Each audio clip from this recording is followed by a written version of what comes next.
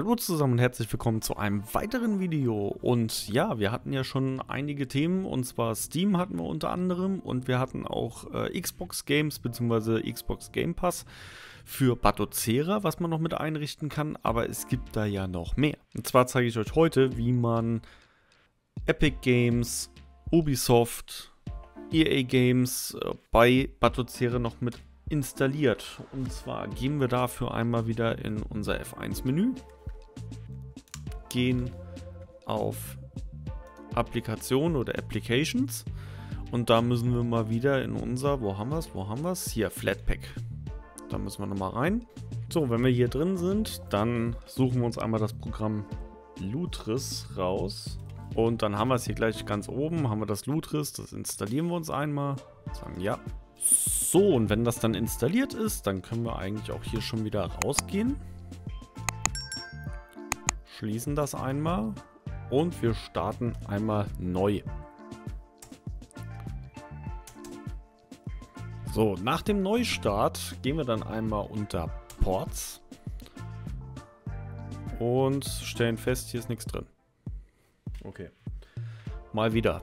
Irgendwelche Probleme wieder gehabt. Äh, Game Settings. Update Game List. Gucken wir mal.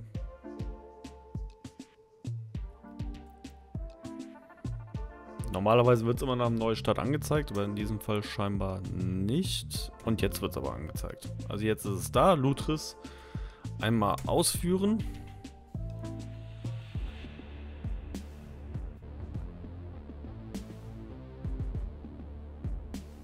Ja, das warten wir jetzt einfach nochmal ab, dass er hier seine Updates nochmal versucht zu installieren. Wird dann eh gleich nochmal automatisch schließen. Oder auch nicht. So, aber wir machen jetzt hier noch nichts drin.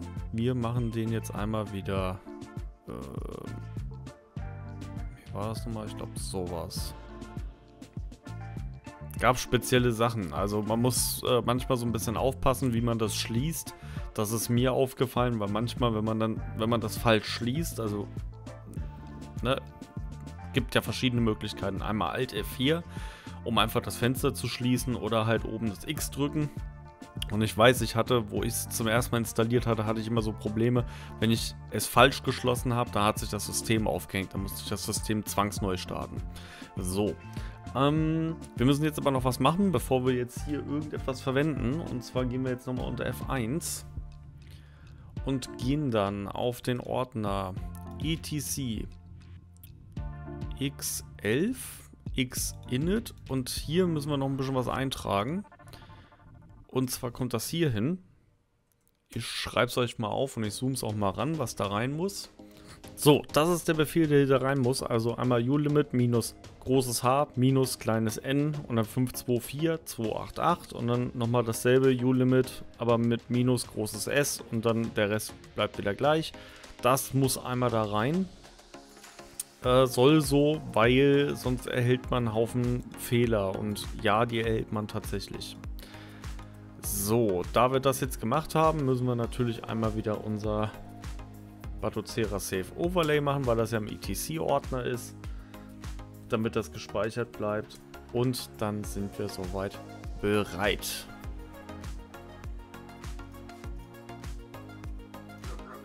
So, jetzt gehen wir wieder unter Ports auf unser Lutris. Also ich kann euch gleich sagen, ich kann halt nur für drei spezielle Apps euch das zeigen. Das ist dann einmal Epic Games, Origin und Ubisoft. Für andere kann ich euch das nicht zeigen. Also für Steam würde noch, äh, glaube ich, irgendwie eine Anwendung fehlen. Und GOG habe ich nicht. Also Games of Gold habe ich nicht. So, dann machen wir es erstmal mit Epic Game Store.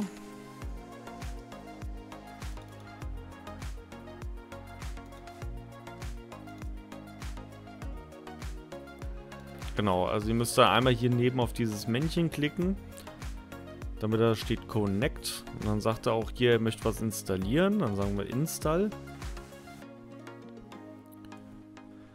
Klicken hier auch Create Desktop Shortcut, Create Applications Menü Shortcut. Klicken wir an. Sagen Continue. Und hier zeigt er dann nochmal an, was er jetzt installieren wird. Und wir sagen einfach Install. Je nach Internetverbindung dauert es halt einen kleinen Moment.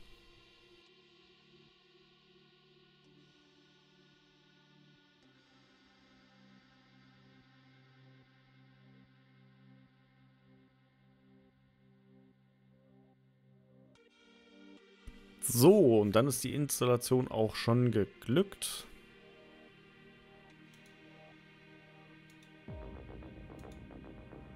Genau, ich kriege schon wieder ganz viele Fehler.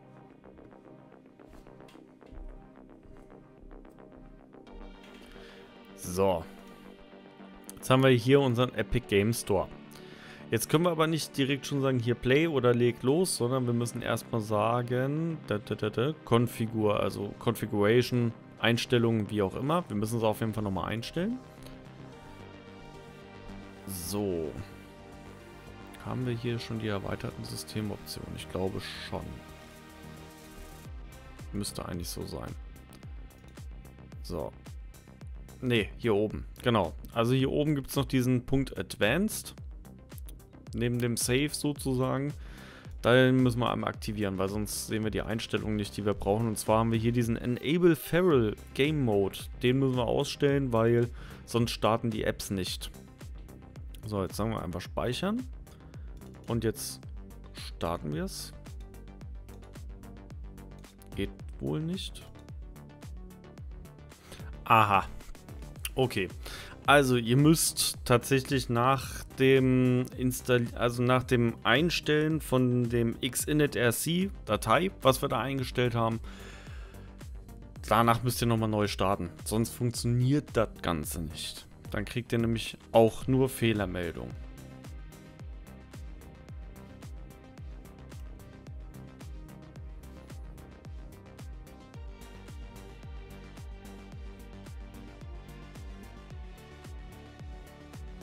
Perfekt. So, jetzt ist er gestartet. Jetzt gebe ich hier einmal meine Daten zum Anmelden ein.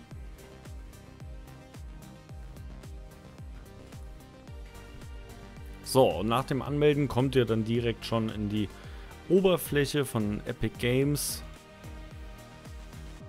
So, jetzt gucken wir mal. Das letzte Mal konnte ich hier nicht so viel einstellen. Ha, hier. Auf Deutsch umstellen. Restart now.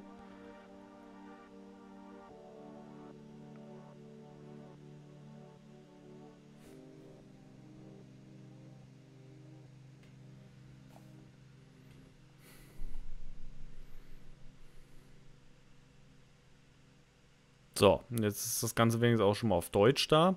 Ich hatte es tatsächlich einmal mit Fallout getestet. Das würde ich tatsächlich jetzt wieder tun und dafür installieren wir es einmal. Install Auto-Update, ja, installieren. Und dann lassen wir ihn erstmal fröhlich installieren und gucken mal, was uns dann erwartet. So, unser Spiel ist nun installiert, aber wir machen vorher nochmal was anderes. Und zwar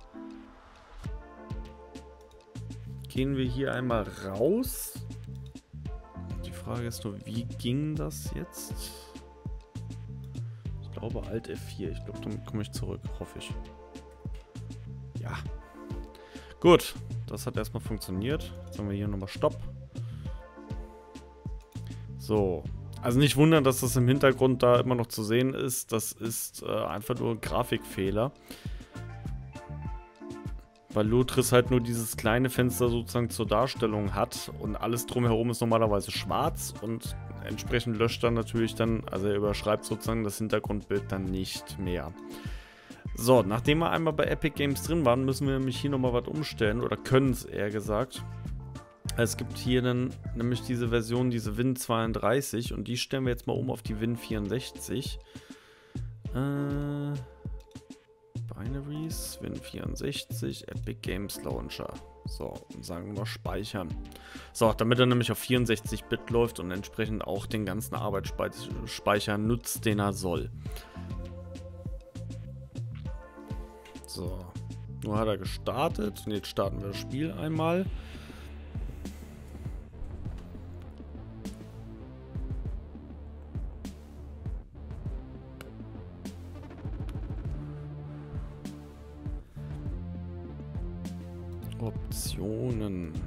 Ja, jetzt hat er wieder die Grafikkarte. Die, beim letzten Mal hat er es mit der Grafikkarte nicht so gut hingekriegt. Wir versuchen es jetzt einfach nochmal, ob er es mit der Grafikkarte diesmal hinkriegt. Wie gesagt, beim letzten Mal hat es nicht so gut geklappt.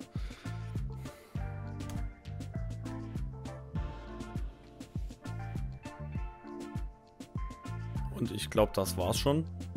Ja. Bin nämlich schon abgestürzt. Ja, das funktioniert. Ähm, mit manchen Grafikkarten geht es einfach nicht. Muss man einfach zugeben. Es geht mit manchen Grafikkarten nicht. So. Wenn das der Fall sein sollte, dass mal irgendwie ein Spiel nicht geht, müsst ihr hier wieder in die Konfiguration rein. Und dann... Ich weiß nicht genau wo. Das könnte hier gewesen sein. Ja. Ihr könnt hier nämlich auf eine andere Grafikkarte umstellen. Und zwar... Ich glaube, das musste man nur ausmachen. Wir probieren es mal. Mehr als nicht funktionieren kann es ja nicht. Also es ist immer dieser Wechsel zwischen den äh, externen Grafikkarten und den internen Grafikkarten. Und bei Notebooks ist es ja meistens so, die haben halt beides. Die haben einmal ihre CPU-Grafik und die haben einmal dann noch ihre äh, externe Grafik. Und ich glaube, damit hat Lutris so ein bisschen Problem. Aber wir werden es gleich sehen. So. Jetzt sagt er immer noch Nvidia. Nvidia will ich aber nicht. Warum sagt er jetzt immer noch Nvidia? Gut. Ende. Stopp. Konfigur. System Options.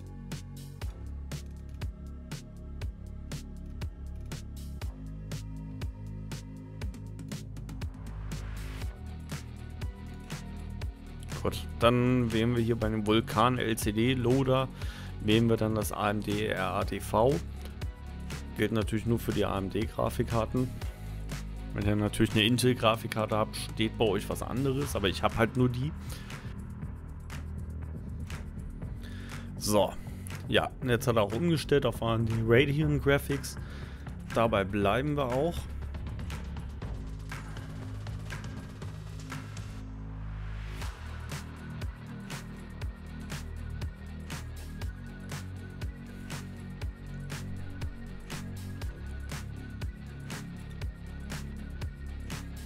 Hä? Ich habe einen gespeicherten Spielstand. Woher?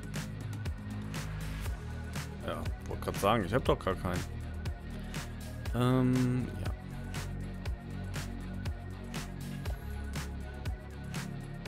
So. Das ist jetzt natürlich nicht, ab wann man irgendwie überspringen kann oder ob man es überspringen kann. Ja, scheinbar kann man es doch überspringen. Ja, ist gut. Jetzt kommen ja so die ganzen, die ganzen Erweiterungspakete, die er da will. Ja, aber wie man sieht, es funktioniert. Es sieht super aus.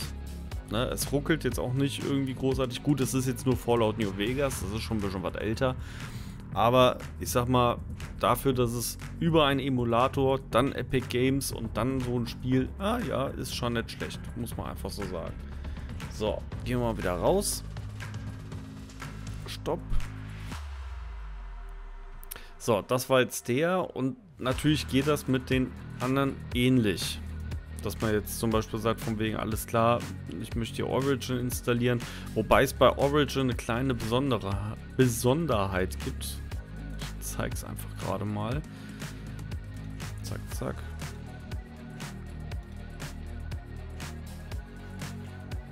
Weil bei Origin, es gibt ja bei Origin zwei verschiedene. Also Lutris kennt es noch als Origin und mittlerweile heißt es aber EA Play App. Das Problem ist, dass wenn ihr die EA Play App installiert, dann kann das sein, dass er so mal mittelmäßig abschmiert. Aber das zeige ich gleich mal. So, jetzt ist er installiert. Jetzt gehen wir mal auf Launch. Wird er sowieso nicht machen. Weil wir ja noch nichts eingestellt haben. Das muss ja immer erstmal konfiguriert werden. Und zwar wieder System Options und wieder dieses Funeral Mode aus. So, jetzt gehen wir auf Play.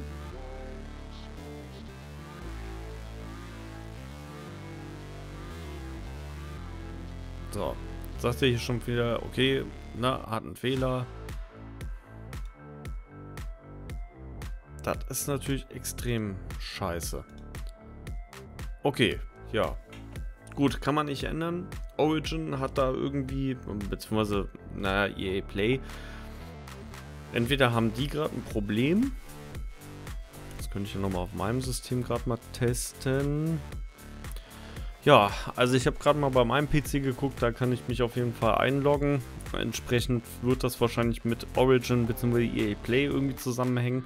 Das funktioniert dann schon mal nicht, aber auf jeden Fall wird Epic Game Store funktioniert auf diese Weise. GOG funktioniert auf diese Weise, Ubisoft Connect funktioniert auch auf diese Weise. Ihr müsst einfach nur immer dran denken, dass wenn ihr auf der App seid, dass ihr immer auf Konfigur erstmal geht, System Options und dieses Enable Feral, äh, nee, Feral Game Mode ausschaltet. Und dafür müsst ihr hier oben die Advanced Settings angeschaltet haben. Ansonsten funktioniert das nicht. So, das soll es erstmal gewesen sein, wenn es hierzu irgendwie ein Update gibt bezüglich EA Games oder sonst irgendetwas. Beziehungsweise EA Play. Ja, oder ihr zum Beispiel irgendetwas feststellt, Ne? Sei es zum Beispiel, das und das funktioniert nicht oder ähnliches. Schreibt es gerne in die Kommentare oder kommt auf meinen Discord. Wenn euch das Video gefallen hat, dann lasst mir gerne mal einen Daumen nach oben da. Ein Augen. Augen ist auch gut. Ne, einen Daumen hätte ich gerne nach oben dann. Und dann würde ich sagen, sehen wir uns beim nächsten Mal und tschüss.